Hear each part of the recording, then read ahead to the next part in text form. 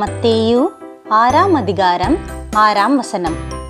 நீயோ ஜெபம் பண்ணும்போது உன் அறை வீட்டிற்குள் பிரவேசித்து உன் கதவை பூட்டி அந்தரங்கத்திலிருந்து உன் பிதாவை நோக்கி ஜெபம் பண்ணு.